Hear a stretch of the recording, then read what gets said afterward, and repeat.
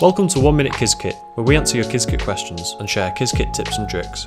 This week, the question is What are registers and how are they useful? Bits are the smallest unit of classical information, and qubits are the smallest unit of quantum information. We can use combinations of these units to describe any kind of data. In Qiskit, registers help us group qubits that represent different data. Here I'm creating a register of 2 qubits, and I'm going to call this register A. I can now create a quantum circuit using this register.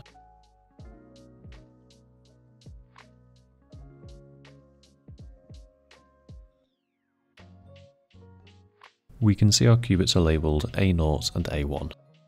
Quantum circuits can contain many registers. I'm going to create another register and call it B.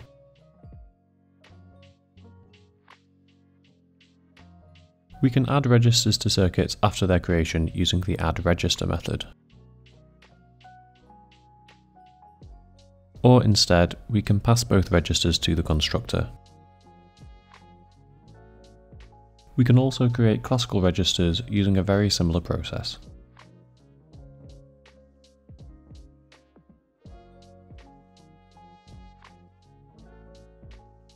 Key advantage of using registers is that we can act on qubits within a circuit without needing to remember their absolute indices.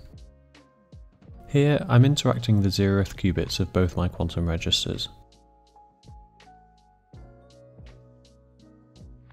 We can also quickly apply gates to all qubits in a register.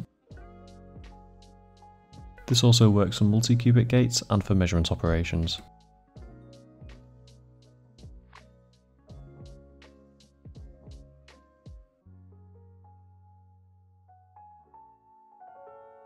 If you have a question you want answered, then please leave it in the comments.